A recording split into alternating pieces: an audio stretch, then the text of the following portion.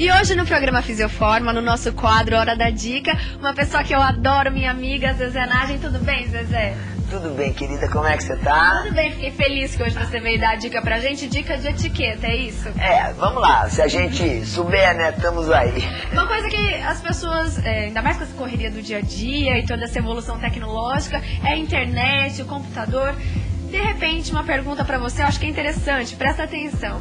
A gente pode fazer convites para as pessoas através da internet, por exemplo, por e-mails. Quando é que isso é possível? Quando pode, quando não pode? Olha, é, a gente sabe que hoje é, o computador, vamos dizer, a internet, pegou o campo é, profissional e também, não tenha dúvida, está ganhando no terreno social.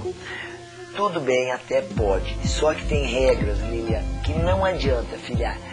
Tem que serem respeitadas, tratando de etiqueta e boas maneiras. Isso daí, entendeu? Tem que ter, não pode escorregar. Dá um exemplo pra gente, Zezé. Então vamos lá, olha, por exemplo, a internet você pode fazer um convite uh, por e-mail e esse e-mail, por favor, quem receber, responda de uma forma atenciosa.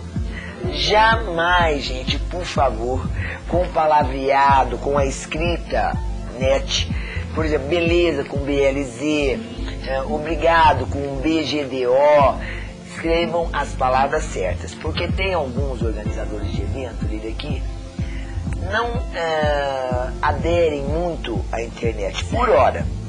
Mas eu acredito que daqui, no meio século XXI, todo mundo vai partir para isso. Porque é mais prático, né? Lógico, lógico. Otimiza o tempo.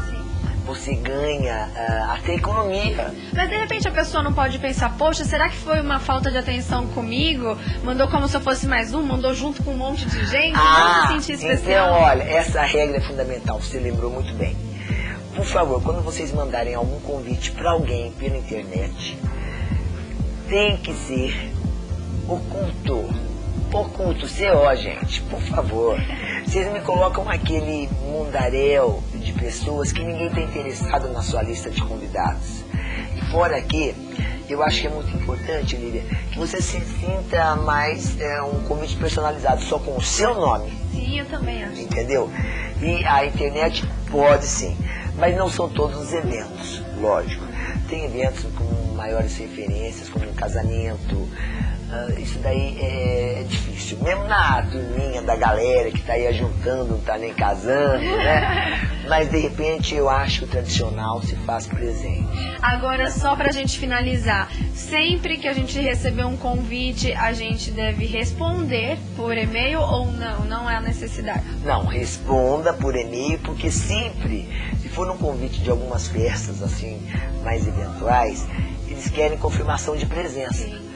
Então, por favor, é uma forma delicada e que deve ser feito.